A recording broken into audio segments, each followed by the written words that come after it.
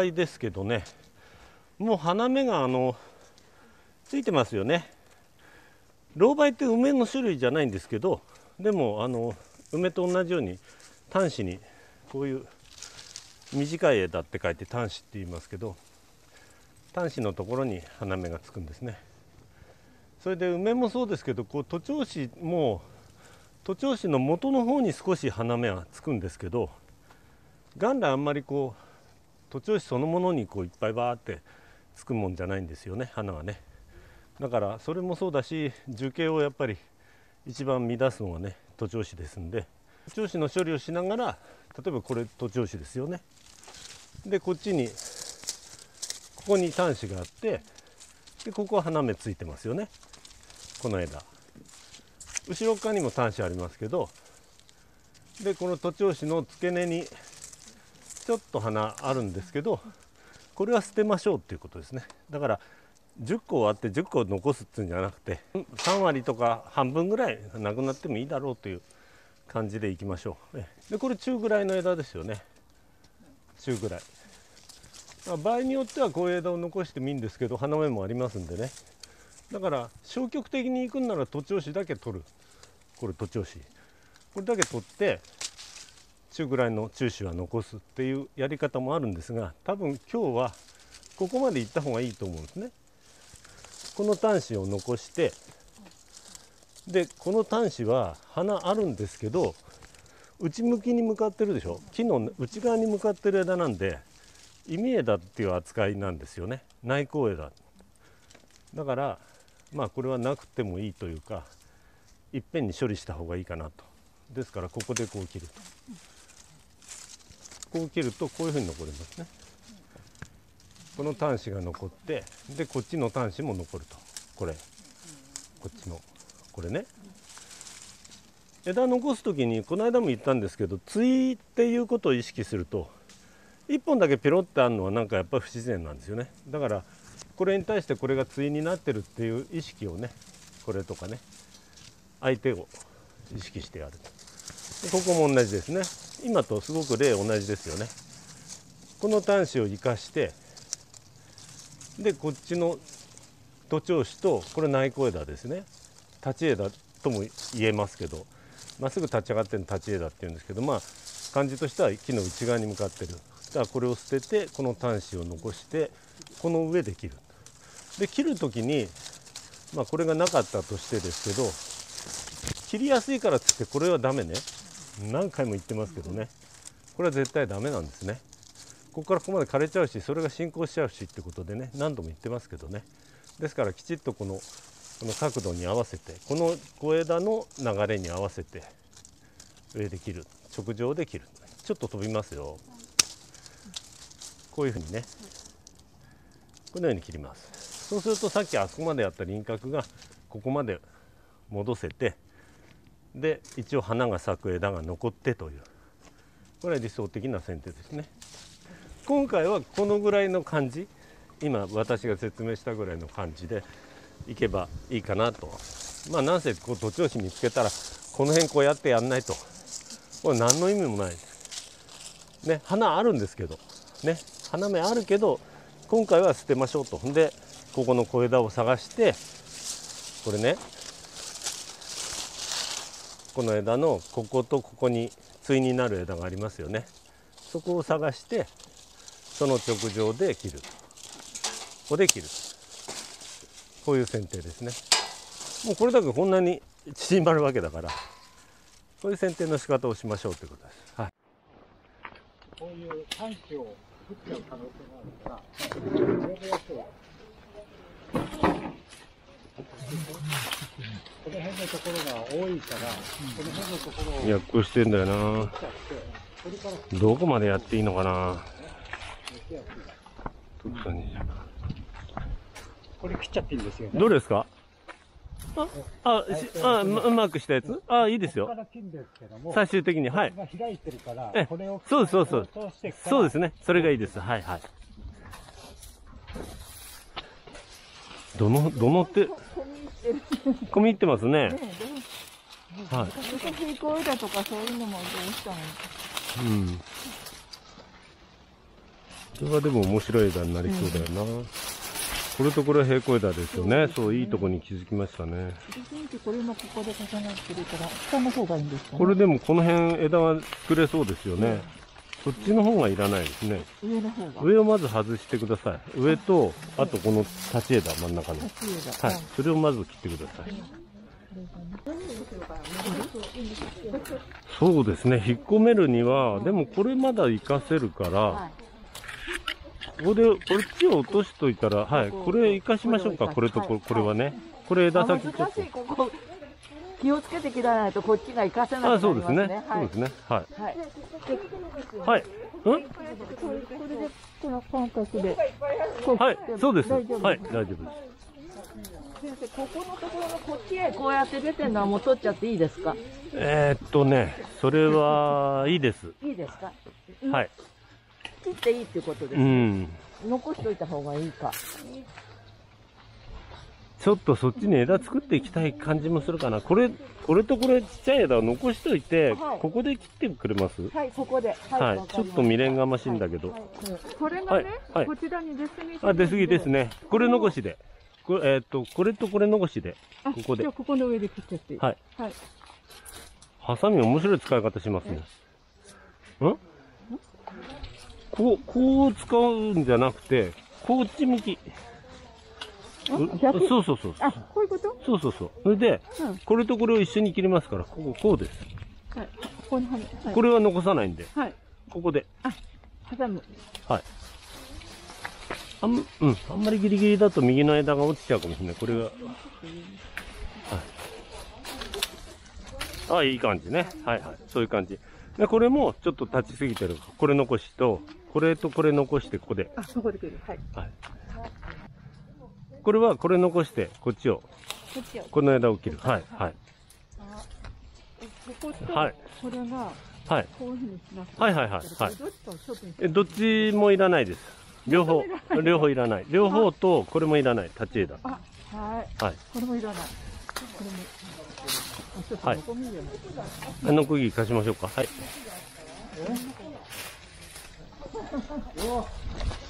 荒れてますね。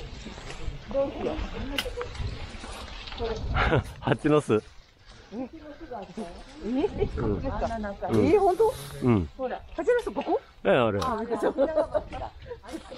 え、鳥の？いないよ。いないいない。いない。これ、これ内子じゃないですか？こっからですね。こ。ここマーキングしてくださった。あ、先生、これ困ってらっしゃいます。はいはい、はいはい。これね、これね、僕もちょっと困ってて、これを落とそうかなって。これ作り直さないと無理かもしれないんで。ええ。だから、これ活かして、こっち切っちゃうしかないかな。はい。はい。これがね、どうしようかね、ここの枝。これ。本当はなくしたいんですけど、これ。かなり空いちゃうんですけど、いっちゃっていいですかね？これ。真ん中で込み入ってますけどね。ねえ。行っちゃいましょうか。私が言ったからしょうがないっていう。ちょっと、ちょっと彦林先に切ってください。ちょっと見え、見えにくい。彦林、下、下を先。切るのはこう下なんですね。ここです。だからこれつけたってことはこじ、ゃなくて、はい。下ここですね。はい。うん。どうしようかな。行っちゃっていいのかな。いや、行き過ぎかな、やっぱり。やっぱり行き過ぎだね。ここの、ここ残残しますね。これ、ここで。ここで切、ここで切ります。いいですか？この枝残してくださいね。これ残して、ここで。あ、その、はい。え、すと、すと上のコブはもういじんなくてよくなるから、ちょっと楽になるでしょう。うん。思い切ったけど、うん。これで、これ活かしていけばいいでしょう。はい。あしょうがないね。ちょっと枝先がだらしなくなっちゃったかな。ちょちょっと詰めとくか。あ、いいじゃないですか。ね。うんこれもちょっと道路から見ると出てるよね。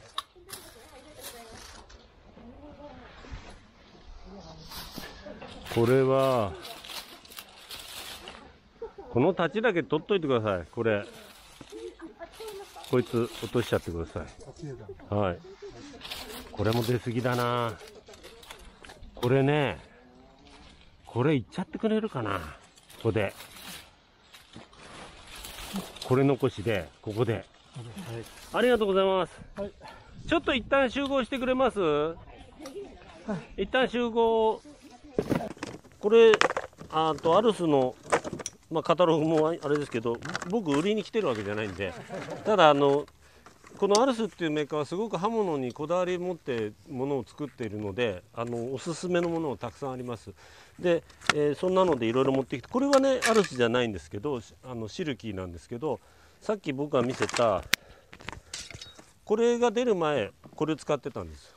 これすごく先が細くてあの細かいところで入りやすくてすごく切りやすかったんでこれ使ってたんです。これも使って構いません。使いやすいです。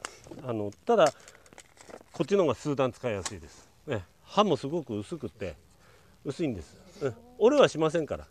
こっちはすごく硬いです刃が、えでも使いやすいです。でハサミとかもねえっ、とあとねあのこの辺のノコもあの別にあの下ろして使って構いません。ええ。ーまあなぜあのノコギリいろいろあります。こう小さいのもあるし、えー戻してくれれば全然使って構いません。あと剪定バサミもこの間紹介したようなこのグリップが回るタイプのやつとかですね。あれからすぐに買いました。あアンビル。あさすが。すっごく使いやすい。でしょ、はい。楽ですよね、ははい。いそういう道具はねご紹介していきますんでこんなちっちゃいのあのノコギリとかもありますんでこれどんどん出して自由に使ってください。ちょっと切り方違うよっていうのを言っておきます。この辺今切ってもらったんだねこの辺ね例じゃないんですよね。で例えばこれね。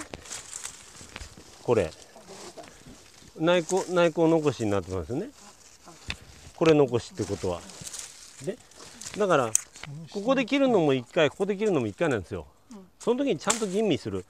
これとかこれで切る切るべきでしょ。だそこいうところを安易に切らない。まあこれは今日のじゃないね。誰かが切ったけどこれはもう最悪ですよね。こういうのもちゃんとここここで切り切り直してあげてください。ダメなのがあったら。ね。残ったところがこんな風にみんながやったところにならないようにあのもしあ間違ってるのあったらねこう切り直してあげてください。そうするとここにもねそうしたら綺麗になるでしょ。うん。これはいいよね。この切り口はうまくできてるね。こういう景色になる。こういうこういう感じ。枝枝先がね。それでこう揃うとあもう一人の人がやったみたいに見えるわけですよ。みんなが同じ目的で共有していくとこういう切り方が全部残っていくから変な切り方は残らないでしょ。それを目指しましょうということで。はい続けてください。はい。あはい。あいいですよ。うんいいけどねもっとあ後でだね。後で。後で、うん、これ残した枝が欠けちゃうから、ああうん、だからここの細かいところは後もっと大きいところで抜くところがたくさんあるのでこれも後でって言ったんだよね。これねこれついてるもんね。そしたら次の課題はですねあそこ整理したいね。塊だから。はい。えーっとうん向こうからだね。こっちもやるところはこれは元だな。こここで。ここ。はい。これは残すんですね。それはねそれもなくなっていいです。なくなっていいってこと？これこれが残ればこの辺が。こっち側のそれもいらんうーんとね。それはね。うんそれいらないかな。これこれ残せます？これ。これ残して。これ残してうんここだけでこっち切ってこっちこれも切る。あこれ残し。こういうのがちょっと気になるね。これ抜いてこれもこの辺抜いとけばあとこういうのはなくていいですね。はい。こうもう交差してるし、はいはいでこれもいらないね。はい。で下に行ってるこれこれはとりあえず残しておいてください。これはいらなくてあれは向こう行ってもいいんだから残しましょうか、はいあ後で出す。ここで切っちゃっていいんですか？んんここそれ内目の内枝残さないで、あそうそうそう。ここ。でいいんですよ。ここで。うん、これはどうなってもいいです。はい。はい。これ、これもここがごしょごしょああごちょごちょですね。はい。これは。これはね。もうでもこれちょっと味のある枝になるから、は面白い枝になるからこれを落としますか。そこ落としちゃっていいです。かこれ残したいか。なるな。うんそしたらこれは残すね。はい。そうするとこうなってこの切り残しもやらしいね。こっちは切ってあはい。でこの枝先も少し詰める、うんこんな感じかな。これはこれはどうしようかな。どっちかいらないな。これをなくすかこれでどうかな？この三本は残しちゃっていいの？これの3本。ああこれがなんか変なんだよね。えちょっと分け枝にしといて。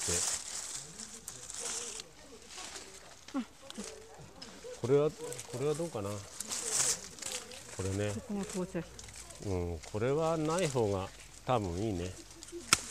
こうね。それでこれもこれも落としといた方がいいんじゃないかな。これとね重なってるでしょ、これこれとこれ平行枝なの分かります、同じ方向に行ってるでしょ？でどっちかがいらないんだけどあ下の方がいらないな。うんこれ？これ育てなくていい。ダメこれをねここであはい。これ残しにしてこれを切ってください。はい。でこれは残しましょう今。はい。はい。わかりましたはいはいはいはい。えここれは切り戻せばいいですね。こここでいいかな。ここで。ここでこで切り戻しぐらい。ね。であごめん。なさいこれも枝先ちょっと長すぎるんだけど、はい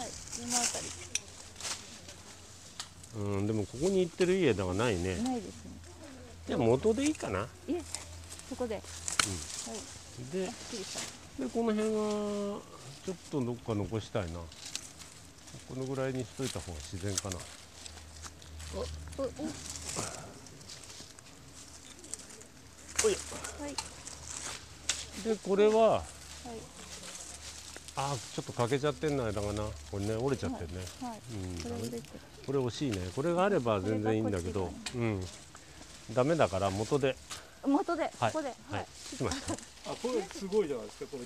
ああカレーだね。先生ここまで落としますか？はい。枯はい。れてる枯れてるこっから行く。ああもうしょうがないね。そうですよね。枯れてるもんね。で後で立ち立ち枝もこれも行く。そしたらもう。これとここ。えこもうこれここで切るしかないんだよ、なるほど。あそうか。確かに。あそうですね。あ確かに。あでもこれ生きてんのか。あこれ行きますからこっからこうこうですか。そんなのそんなのばっかりやってんじゃないですかさっきから。間違えましたね。キー間違えた。キー間違えたでしょ。大大変なのばっかりやってんじゃないですか。大変なの選んでやってんですか。間違えました。メキシカですねちょちょっとこっちから押してくれます？そうん。軽くでいいです。あすごい。いいのこう。いやバフバフなんだよ枯れてて。ああそうなんですね。あすごい。へえ虫入っちゃって虫入っちゃって大変だね。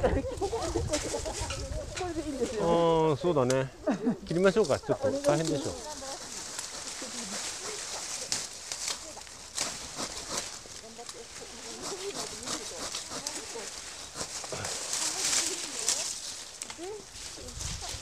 であそこのコブがすごいからそうですね。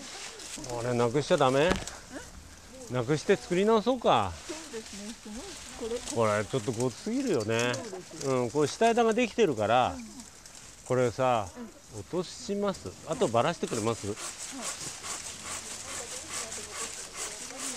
もうねこのコブと付き合ってたらね、うん、時間のロスなんだよね。こんなだもんうんね。それで残った下枝であの次の枝を作っていく。うん。だからあんまりちょっと伸ばしすぎですよね。こういうのはさっきみたいにあの分け枝いいとこ探して方向の例えばこれだったらこういうとことかその下とかこれもほら下枝のいいところあるでしょ？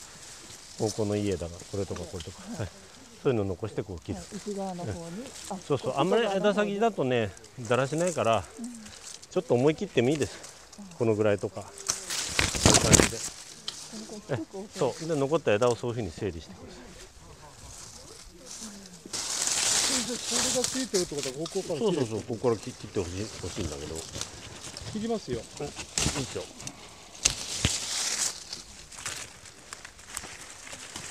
俺はどうしようかな。少し残すか。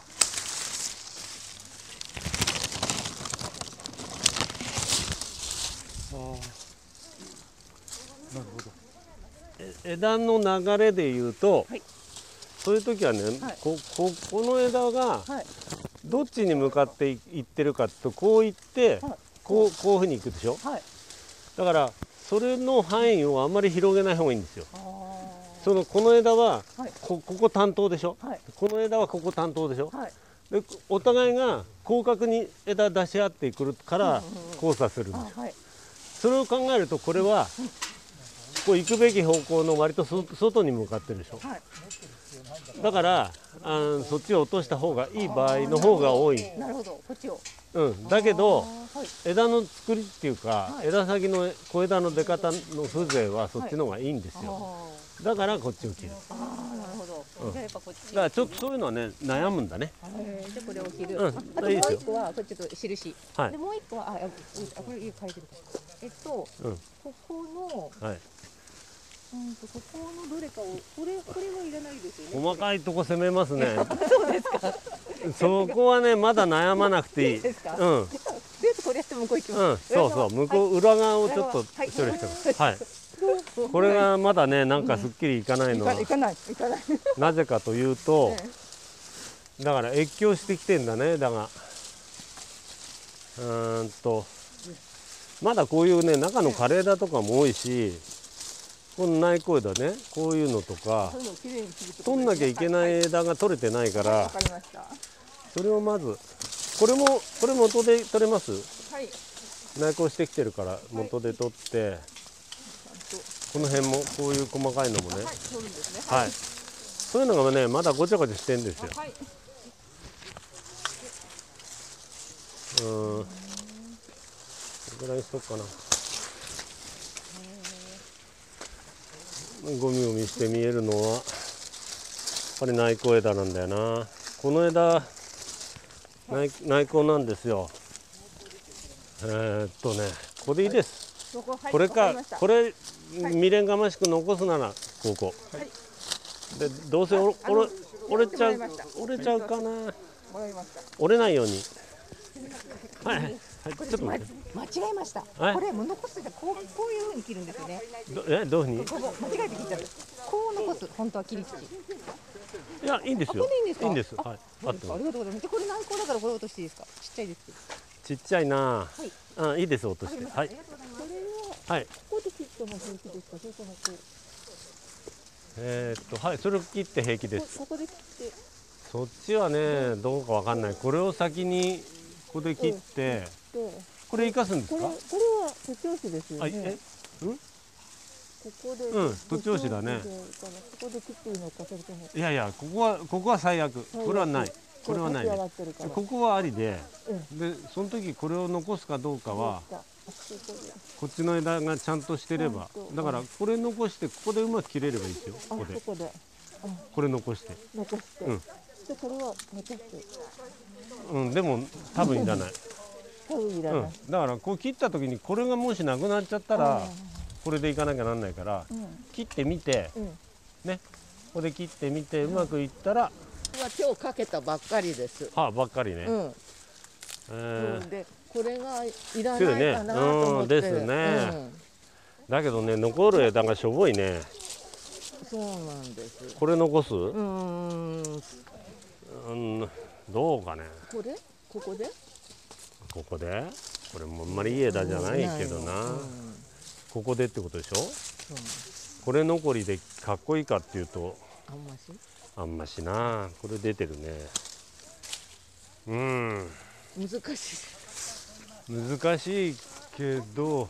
でもここ取っちゃったらバカッと穴が開くなと思って。あ穴は気にしない。気にしない。あじゃあ穴穴はねうん。気になれば木が自分で直すから。じゃあここでここで切っちゃってもいいですか？うんそこでやってみてください。あそれあまあいいや。あいいいいですいいです。頑張って頑張って。それねえ？いいですか？いいですよ。よいしょ。あのハサミは違うので。こうこっちに向けんの？これね今両手使ってるからしょうがないけど、今こうこう切ってたでしょ？はい。こう切ってる時にこっちへ傾けるだけで切れるの。はい。そううん。先生あとはなんかごしゃごしまああれとこれもねこういう切り方するとはいあのこれあんまりいい枝じゃないのね。あでそれをここれ残しにしても将来的にここで切んなきゃならなくなる絶対。うん。だからそうだな元だなこの場合は。はい。うん。こうやるとねこれ残しちゃうからね。まあまあいいけど、うん、ここね。元でね。こっちはどこですか？えそれ2本。2本。元。で切りたい。元で切った方がいいですかねこっちかうん。広い枝ですそうですね。ちょっとあんまり性質が良くないね。うん。はい。じゃああの元から元でいいですよ。はい。はい。完成はい。完成でよろしいですか？だからカレーだは通るっつってんじゃないかよ。カレーだ一般じゃないかよ。ダメだよこんなの。でこれ交際だでしょ？これ。はい。あ本当だ。ここにもあります。これ。だからこれがこれ必要ならなんか考えるし。はい。取りますそう？取るかどうかは向こうから見て。向こうから見て抜いても問題ないなら抜いていいけど。残す。これは残していいですかね。それはなくてもいいね。うん。うんなくて。この枝がいいからそうそうこれいいでしょ？そうそうそう。だからハサミ向き逆。そう。そうそうそうそう。はい。そうそう。あ入りにくい。入りにくいはこうこっちから。こっちからこっちから。そうそう。はいあこれ向いたな？え向いたでしょ、ええうん。ダメだね。ダメ。え腐るよ。あ腐る。こここれはもう、うん腐る切りあ方なんかいい方法は切り直しできれば切り直す。え？えっと。うん。せめて。うーん難しいな難しいなどうしようかな、え腐ります。こんな大きい切り口を失敗したら腐りますよ。せめてこのこのバークリッジ残してここから入れてだから僕がここに線書いたじゃんだって最初ここああそれに従って切らねばこうなるわな。これこの延長ってこのめくれたところの下まで行きます？これこの延長。いきます。今この角度。どう？ギリ？ギリ。ギリでもこれの方がまだいい。はい。わかります？この角度で。切り直し。ね、うん、ちょっとあとは細かい、うんうん、細かい辛み枝枯れ枝がちょっと気になるぐらいですね。そこも枯れ枝がいっぱいある。はいうん、ああ、うんめくれ残ったね。まあ残った。あ下のほらめくれが。まだそこへ達しなかったけどでもそれ以上は追い込めないんですよ。今度し下のねブランチカラーがあるでしょここへ、はい。うん、ブランチカラーがあるからこっちもう下あ追い込めないんです。ギリだね。もうしょうがないね。うん。あとはもうあの融合剤塗るか、あのしてくださいそうするともう少し形を整えてあまり大きくならずっていうのはああそうするとね梅の性質上はい。難しいんですよ。あのもうこんだけほっといて今度いきなり小さくして花も実もっていうのは無理なんですね。はい。うん。性質としてねあの花芽だけの芽芽のところの上で切ると枝にならないで枝枯れして枯れちゃうんです。ちっちゃい枝が。よくこういうふうに枯れてるでしょ？これはだから花芽ししかなかった枝なの、ええ、でそういう枝っていうのはあのこういう元の方にあったりするからね。結局あのはなんて言ったらいいの？えーっと枝ができるための枝っていうあの芽っていうのは先の方にしかないからそれを詰めちゃって花しか咲かない芽に例えばここで切り詰めるでしょ？とここから出た枝はこういうこういう枯れ枝になっちゃうんですよ。はい、だからだからいあのよく本にもあるように半分から先3分の1までしか切れないっていうのはそういう意味なんです。でこれをうんとこうじゃあここの芽でいいじゃないかってやるとこのこここの芽が枝になるかどうかの確証がないんですよ。だからしょうがないから枝先枝先の剪定になっちゃって毎年それを繰り返していくからこういう木になる。はいなるんです。そうすると来年は花は諦めて、はい。少し小ぶりにするという形にすればなんとかそうですね。はい。いい形で整えられうん、だからそれにはこういう中の方のはい。ここに枝ありますよね、はい。でこれは多分は花芽も葉芽も出る枝なんですけどこういうところで切るとかね。だからこの分が縮めるでしょ。だからそういう枝があればなんですよ。こういう枝がどこにあるかって探すほどしかないですよ。これとかこれとかですよね。だからここだとここまでしか切れない。これだけしか切れないですよね。ここに至ってはないでしょもうない。全然ないですよね。これ途中ないでしょ？これ枯れてる。だから切り戻す枝がないんですよ。ここで言うとここまでしか。この枝残しでこれで切る。そうするとこのでっかい徒長枝はなくなりますけどここまでしか切れないでしょ。でもこの場合だとこの辺とか残さないと多分花が寂しすぎますよね。うん。非常に難しいですよ。うん。この辺はまだいいよね。これ選べる。だからこれを徒長枝ここで詰めなくてもこここの枝残してここで切ればはい。でこの先ちょんと詰めばはい。小さくなります。こういう枝のところでそれはできますけどそうできない枝ばっかりでしょ。これも何もない。これも何もない。だからこれはこのまんましか残せないんですよ。小さくできない。でずんど切りダメです。もちろん小さくしたいからってこういうとこぶつっていうのダメですこういうこういうこういうこういうふうに枝が残ってればまだいいけどでもこう枝残してもこう枯れちゃったりするんだから確実に残る枝のところでしか切れない。難しい。だからすごく難しいんですよ。梅は。すごく難しい、うん、だからそういうふうにできるところを探してそこまで切り戻して枝先ちょいと詰める3分の1っていうのをやるしかないですね。でできないところはもう残して枝先だけ切る。しかないんです。はい、だからこういう枝にもし当たったら、こういう枝に当たったらあ切り戻すとこあるなってこれでやっていくしかないんですよ。これが向きは荒かろうがなんだろうが。とりあえず一回小さくするならここを切らないでこうだから枝をこう持った時にこれ切り戻せる枝があるかどうかを先に確認してこれ切る前に。これは後でできますから。これで切って小さくしとく。でこれもこれがあるからここにしとく。で残りを詰める。こういう枝があればそういうやり方。でなければもうこれなんかもあこれありますよね。これ生きてますよね。ちょっと大変ないけどもうしょうがない。今回やるんだったらもうやるしかないよね。詰められるとこはもう詰めとくしかないからこういうふうに。ね。これなんかもここに脇枝あるからこう行くとかここで行っといてこの枝もあるからこういうの切っとく。こういう感じですね。詰められるとこまで切り戻せるなら切り戻してこれがななかったらここで諦める。っていう感じですね。でこれがみあと実がなるかどうかはねあのまあ別っていうかな。別でいいんですえ梅梅の梅の花って知ってますよね？あれあのほとんどダミーだからね。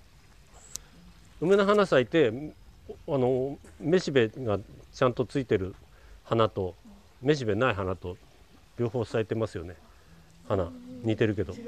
あほほとんほとんどダミーなんですよ。だから逃げやかしくして虫を呼ぶために花いっぱい咲かすけどそのうちめしべがついてて受粉して実になる花っていうのはもう少ししかない2割とか3割 ,3 割しかないんですよ。ここもそのぐらいしか実がならないあそうそう。まあもともとそういうもんだからね、うん、だから花がたくさん咲いたらたくさん実がなると思わないでください。ほとんどダミーだと思って。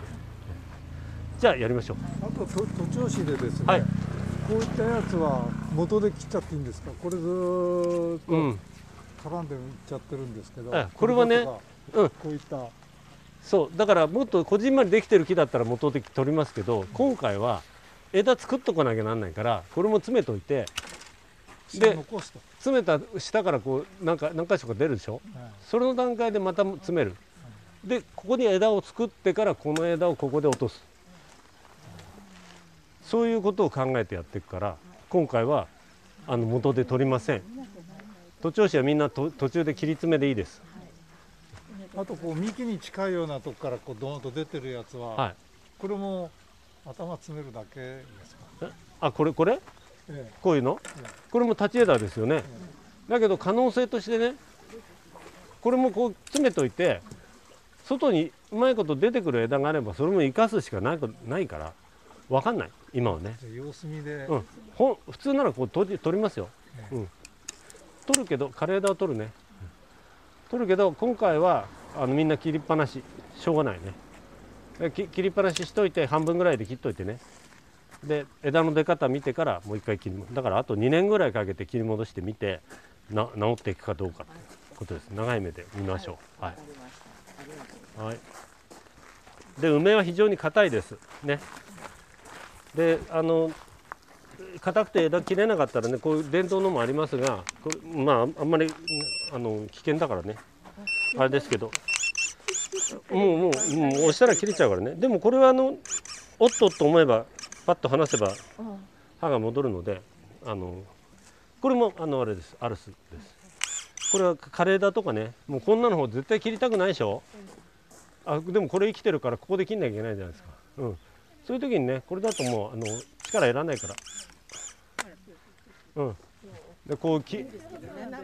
うん、枯れ枝の切り残しとかねもうすごい嫌だね切るの、うん、そういう時に使うんですけどね。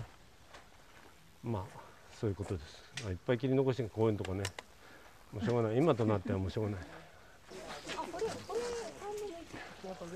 じゃああのあのねさっきの洗濯ばさみあるでしょ、皆さんがこうやって探してねここの枝あここに戻せるよっていう戻せるからこれ枝先切っても無駄よっていうのを印してよ。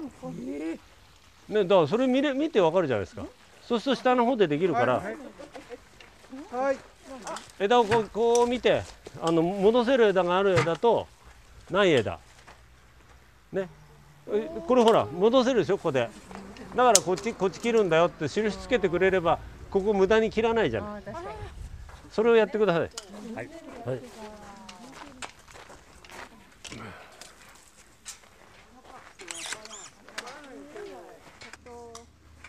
もう一個右側。あ、それそこ。これね、あ、いらないやっぱり。うん、やった。あ、はいはいはい。で、先生の左手を残してそこ切る。うん、ここ切れるよ。あ、切れそう切れますか。うん、こっちあるけどね、大きいからね。あ、やばいはいはいはいはい。うん、そうそうそう、そういうこと、そういうこと。そういうことです。だって、だって、ここから見てみる、これ、ここも交差作るでしょ？ここも交差でしょ？後ろも。だから、これが根本的におかしいでしょ？あ、そうですねう。ん。だか確かに。え、じゃあらこここから切ればい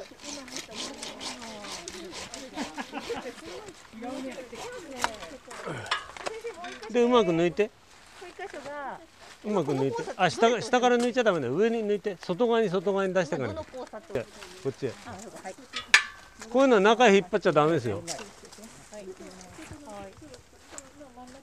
どうなんですか？もう元から切っちゃうのか、うんこれだからテリトリー違反してんのはどっち？さっきさっきこっちこれこれこれ。そうでしょ？はいじゃあそっちだよ。なるほど。じゃあここから行くってことですか？ここから。そうそうそう。うんだここからあれいいんだけどね。芽が生きてる芽あります？ないよね。うんじゃあもうしょうがないね。カレーだうん。あれはもうき枯れ枝承知で切っといてね。でここで吹かし吹くかどうか見て、もう一回チャンスを与えるっていうのも手なんですよ。でも芽が出る可能性を残すらしいです。うん。でもこれ今そんなになんか悪さしてる？